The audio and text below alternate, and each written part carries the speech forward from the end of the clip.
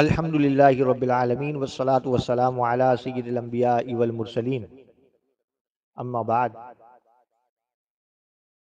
ये एक साथी ने जो वीडियो भेजा है, मुफ्ती नजीब उमर देवबंदी साहिब का, इसके अंदर मौलाना फारूक खान रिजवी हाफिज़ाहुल्लाह ने एक करामत है जो पीरान पीर गौस आज़म दस्तगीर रहमत से मुतल का बयान की जाती है। उसके हवाले से फरमाया कि यह हमारे यहाँ नहीं होता है इस, इस करामत को बयान नहीं किया जाता और उसकी तरदीद की है और इससे इनकार किया है। तो मुफ्ती नजीब साहब को न जाने क्या सूझी कि वो इसका जवाब देने के लिए आ गए और जवाब देते हुए ये कहते हैं कि जी ये नहीं आपके किताबों में मनकूल है और ये आपका अकीदा है नज़रिया वगैरह वगैरह। तो अब हम इनको बताते हैं कि जी हमारा ये नज़रिया नहीं है। बात बिल्कुल दुरुस्त की है मौलाना फारूक खान रिजवी हाफिज़ा ने। तो ये जो है, गलत जो है, तासुर देने की कोशिश की है नजीब साहब ने। तो दो किताबें उन्होंने पेश की है, एक तो कोई मलफूजात हैं, दूसरी जो है वो फौजुल मकाल है। मलफूजात चूँकि उनके नज़दीक ही जो उसूल मुरतब किए गए हैं, इनकी अपनी किताबों में, उसके तहत तो मलफूजात पर कोई हुक्म ही नहीं लगता तो लिहाजा उसकी हम कोई बात ही नहीं करेंगे। ठीक है, वो हमारे नज़दीक कोई एक, वैसे ही कोई मतलब कोई हाँ पहली बार ही मैंने भी मतलब नाम सुना है। आप में से भी लोगों से पूछा कि भाई किसी को पता हो तो किसी को भी नहीं पता कि ये कौन साहिब है। बहरहाल, और ऐसी किताब है कि वो वैसे भी मलफूजात हैं, और मलफूजात अगर किसी के भी हों तो वो उसमें क्या होता है वो बताने की ज़रूरत नहीं है।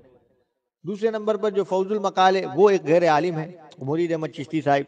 मुरीद अहमद चिश्ती साहिब ने जो कुछ बयान किया है वो उन्होंने अपनी किताब के अंदर पीरान सियाल से मुतल तमाम किताबों में से अखज़ करके वाक़ात वगैरह वो नकल कर दी हैं। अब वो किताबें चाहे देवबंदियों की हों, बरेलवियों की हों, वहाँ सब जगह से मनकूल किया है, उसमें नकल किया है।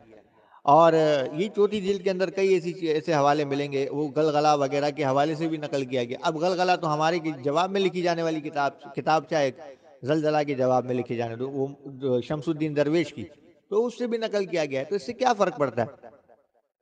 और इस करामत का जो कि ये मुफ्ती नजीब देवबंदी साहब ने बयान किया है तो इसका तो हवाला भी मनकूल नहीं है। तो बे सनद बात है बे हवाला बात है, इसके क्या एतबार है? कोई एतबार नहीं और गैर आलिम बयान कर रहा है, उससे क्या फ़र्क पड़ता है?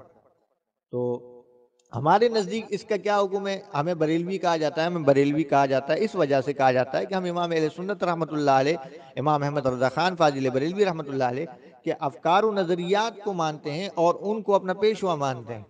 अब आइए आपको मैं बताता हूँ कि इमाम सुनत रहमत ने फताव रजविया में क्या फरमाया। इमाम सुनत रहमत ने फताव रजविया के अट्ठाईस जिल में यही सवाल हुआ। तो आपने फरमाया, ये जो है, ये करामत जो है, ये जो बयान की जाती है, ये जाहिलों की जो इख्तरा है और इसको खुराफात भी कहा है। तो अब आप मुझे बताएँ कि जब हम इसको मानते नहीं हैं और दूसरे मुकाम पर भी फतावा रजविया के इसके हवाले से रद्द मौजूद है और हती कि एक मकाम पर तो मुंजिर कुफर भी कहा है। तो अब जो है मुफ्ती नजीब साहब को सोचना चाहिए कि वो इस तरह की बात हमारे सर क्यों थोपते हैं?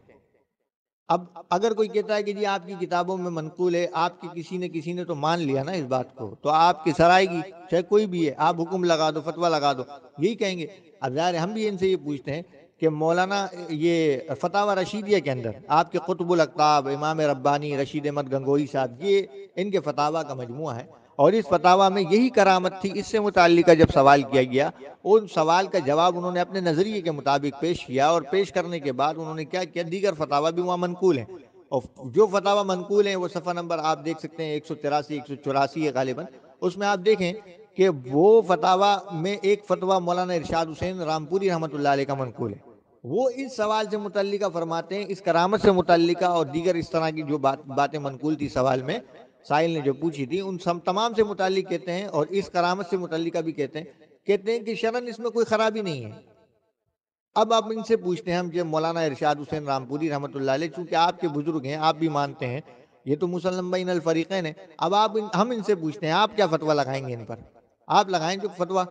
अब आप जो फतवा लगाएँगे हमारी तरफ़ से वही फतवा फिर आप समझ लीजिएगा। मौलाना इरशाद हुसैन रामपुरी रहमत पर फतवा आप लगाएँ। ठीक है? तो वही हुक्म हमारी तरफ़ से आप दीगर का भी पूछ, समझ लीजिएगा। अब सवाल ये पैदा होता है कि मौलाना इशाद हुसैन रामपुरी इसको दुरुस्त मानते हैं? तो अब हम ये पूछने का हक रखते हैं ना कि फतवा बताएँ। अच्छा साथ ही ये कि भाई ऐसे मन घड़त बातें नकल क्यों की जाती हैं?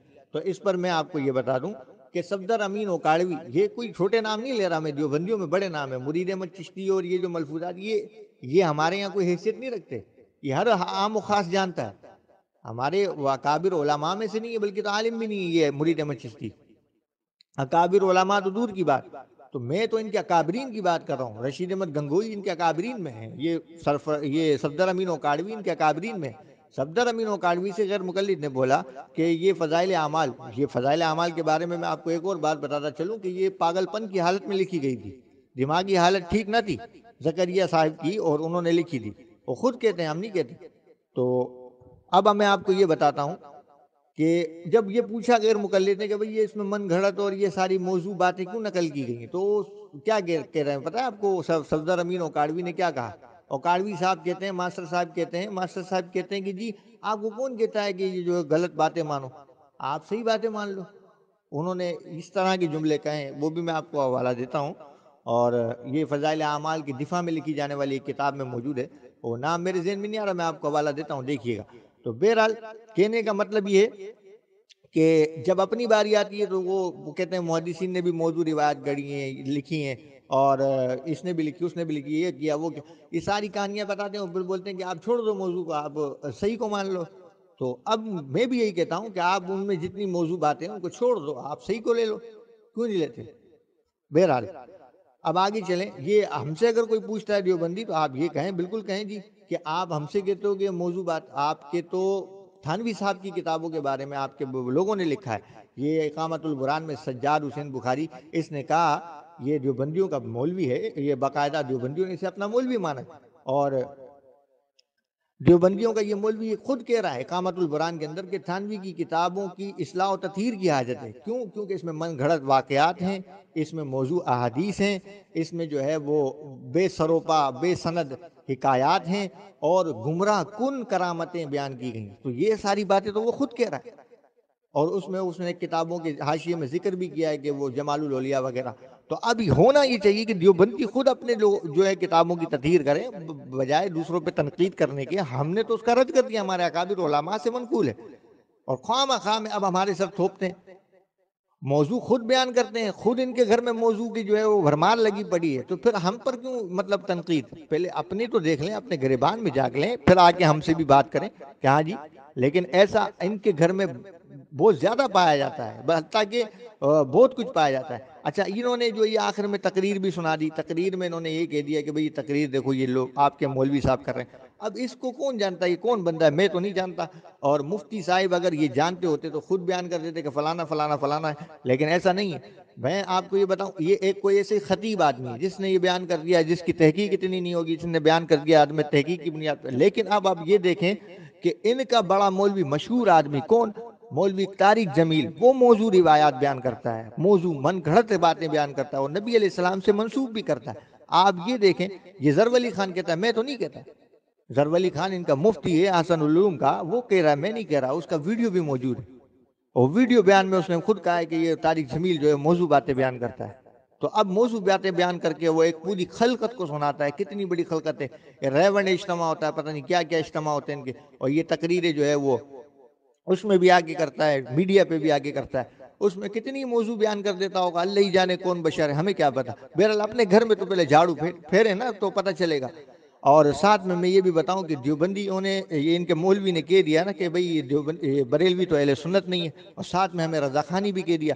ये रजाखानी कहना ये गाली है। अब देखें हमें कहते हैं कि भाई बरेलवी गालियाँ बकते हैं बरेलवी झूठी कहानियाँ बयान करते हैं। हती कि इन कहानियों का तो रद्द हम कर चुके हैं। ये कहानियाँ तो तुम्हारे यहाँ पाई जाती हैं। और साथ में गालियाँ भी तुम बकने वाले साबित होते हो। तुम्हें शर्म आनी चाहिए देवबंदियों कि तुम क्या कह रहे हो। और रजा खानी क्यों गाली है? मैं आपको बताता हूँ। ये उसूल थानवी के खलीफे ने लिखा है। हवाला महफूज है वक्त आने पर। अगर कोई मुतालबा करे, देवबंदी में दिखाने के लिए तैयार हूँ। वो कहता है, थानवी का खलीफा कहता है, बरमला कहता है कहता है, शिया को राफजी कहना ये अहल हदीस को गैर मुकलद या वहाबी कहना अहमदी को कादियानी मिर्जाई कहना ये गाली अब आप इसी उसूल पर देखें आप बरेलवी को रजाखानी कहना क्या होगा हती कि इन्होंने तो इसी नाम से किताबें लिख रखी इनको शर्म नहीं आती हमें कहते अब इसके जवाब में हम बहुत कुछ कह सकते हैं ये लफ्ज रजा खानी के जवाब में हम बहुत कुछ बता सकते हैं बहुत कुछ कह सकते हैं इतने अल्फाज इनको दे सकते हैं कि इनको तबीयत इनकी साफ़ हो जाए लेकिन नहीं हम चाहते हम ये काम हमारा नहीं है अच्छा हम कभी सख्त अल्फाज यूज़ करते हैं तो इनकी गुस्ताखियों पर करते हैं इनकी बदतमीजी पर करते हैं। और इनको शर्म नहीं आती कि ये आए रोज़ाना हम, हम हमें पुकारती गाली से। आप देखें इनके अपने बोल बड़ों ने लिखा है। हती कि और भी लोगों ने इस कबील से बातें लिखी हैं वो वक्त आने पर इंशाल्लाह बताऊँगा। और साथ ही इन्होंने कहा कि अहले सुन्नत नहीं। मैं ये चूँकि जो बंदी ये जो मुफ्ती नजीब साहब हैं, ये सिपा साहबा की जो है, वो चूँकि इनको सपोर्ट हासिल है और इनकी पूरी टीम को सिपा साहबा की सपोर्ट हासिल है। तो अब चूँकि मैं इन्हीं के हवाले से इनको बताता हूँ कि ये कहते हैं हम अहले सुन्नत नहीं है। ये कहते हैं हम अहले सुन्नत नहीं है। इनके अभी भी जो है, मौजूदा इस वक्त जो है, वो अहल सुन्नत वल जमात के नाम से जो सिपा साहबा कहलाई जाती है, वो सिपा साहबा ने अपना नाम रखा। उस, उसका बड़े आदमी, बड़ा लीडर कौन है? वो अहमद लुधियानवी है। अहमद लुधियानवी साहिब ने खुद अपने जो है वो मुँह से ये बात कही है। मौलाना सईद अहमद सईद कादमी शाह साहब रहमत से मुतल वो कह रहे इमाम अहल सुन्नत अहमद सईद कादमी शाह साहब को इमाम अहल सुन्नत का ये वीडियो भी मौजूद है। और वीडियो भी मैं आपको उसका लिंक या उसका स्क्रीन देता हूँ आप देख लीजिए। तो ये जो है आप खुद देखें, इनके बड़े लोग खुद कह रहे हैं, इमाम एल सुन्नत ज़ाहिर है। अहल सुन्नत का इमाम हमारी आलिम को कह रहे हैं, और फिर कह रहे हैं कि जी, आप अहल सुन्नत नहीं हो, शर्म नहीं आती इनको, शर्म कोई चीज़ होती है, खैर, वो इनके पास नहीं है। और कोई चीज़ नहीं है। अब अगर कोई देवबंदी ये कहे कि जी, ये झूठ बात है आपके यहाँ नकल होती है और ये होता है वगैरह वगैरह झूठ अगर ये कहे तो आप कहना कि ठीक है, हम आपसे एक बात का मुतालबा करते हैं। हमने तो जो भी बातें बयान की, आपके काबरीन से बयान की और सारे हयातियों का जिस किताब पर इतफाक़ है, वो है अलमोहन्नत अलमोहन्नत के अंदर ये बात तुम्हारे खलील अहमद सहारनपुरी साहिब ने लिखी है। तुम्हारा खलील अहमद सहारनपुरी लिखता है, वो कहता है कि ये हिंदुस्तान के अंदर वहाबी किसे कहते हैं? ये इस हवाले से। वो कहता है हिंदुस्तान में वहाबी, उसे कहते हैं जो सूद को आराम कहे। अब मैं ये पूछता हूँ देवबंदियों से कि सूद को हराम कहने वाले अगर वहाँ भी हिंदुस्तान में कहलाते हैं, चाहे बाजी मुकाम पर हो तो फिर बरेलवी सूद को हलाल हलाल तो नहीं कहता, हराम ही कहता, शिया भी नहीं कहता हलाल, और कादियानी भी, ये जितने भी हैं गैर मुकल हदीस भी नहीं कहता, और जितने भी और भी दीगर फिर कहते वो नहीं कहते। तो फिर वो मुझे बताओ कौन सा ऐसा मज़हब है हिंदुस्तान के अंदर जो था, वो जो सूद को हलाल कहता था। मैं दिखाने के लिए तैयार हूँ, खुद दियोबंदी मौलवियों ने सूद की हिल्लत में मकाले लिखे हैं। हती कि गैर जानबदार से भी मैं ये जो है ना, इस पर शहादत पेश कर सकता हूँ, उसने कहा देवबंदियों ने जो है ना, वो सूद के हलाल होने पर बड़ा ज़ोर लगा है। सूद हलाल हो जाए किसी तरीके से। ये बात की बात, लेकिन मुझे ये बात साबित करे कोई देवबंदी, इनके अकीदे की किताब है मुतफ़न आले जो इस किताब को नहीं मानता, इसके मुंदरजात को नहीं मानता, उसको देवबंदी देवबंदी नहीं मानता। कहता है वो देवबंदी नहीं है जो इसको ना माने। तो अब इसके मुंदरजात में ये बात भी है, इसको मानते हैं तो आप ठीक है, सबूत तो पेश करना पड़ेगा। लाओ, सबूत लाओ। आप खुद दो, सबूत। हम भी देखते हैं। बहरहाल तो ये देवबंदियों का एक प्रोपगंडा है मनफी प्रो, प्रोपगंडा करते रहते हैं हमारे बारे में। और ये जो है वो आ, अपना किया धरा सब कुछ जो है ना जो मौजू मनगढ़ और गालियाँ ये सब कुछ खुद करते हैं। लेकिन इल्ज़ाम हमको दे देते हैं और इसमें एक खूब अच्छे तरीके से प्रोपगंडा करके ड्रामेबाजी करके ये एक नमूना जो है ना वो दिखाते हैं अपने। और ये सिलसिला इनका जो है आज से नहीं एक अरसे से चल रहा है। तो बहरहाल ये इस तरह की हरकतें करते रहते हैं। हमें जो है वो हक बात बयान करनी थी, हमने बयान कर दी।